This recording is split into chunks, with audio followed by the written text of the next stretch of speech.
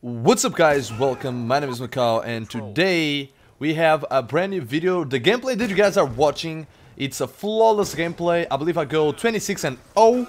I uh, wasn't able to pick up the nuclear because, well, my team was killing too much and I was uh, playing like a camper, to be honest with you, because, I don't know, I, there's just some games where I feel like slowing down the pace a little bit and that's exactly what I did this game. So, you know, I was using my sprinting class that I always do at the beginning. And I, I didn't have flak jacket or anything. And once I got up to, you know, a 10, 11 kill streak, I was like, okay, I don't have flak jacket. So I really, really need to play in a defensive way. And yeah, that's what I did. I missed a triple headshot feed right here.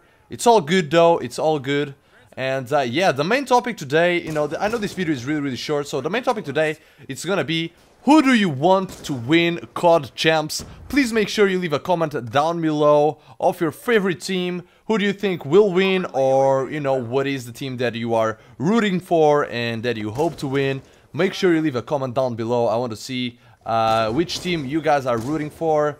Me personally, uh, you guys know that I am not too big in the competitive scene, but uh, I think I support like all the mainstream teams. So we got Optic FaZe, Envy, um, complexity, I don't know. I like complexity, but they have been taking every single championship, and I would like to see, you know, someone else taking it this time. So that would be nice. And uh, yeah, this video is uh, coming to an end. I told you that this was short. Short. I I had to edit the video, so you know it wouldn't be boring to watch because a 26 kill streak.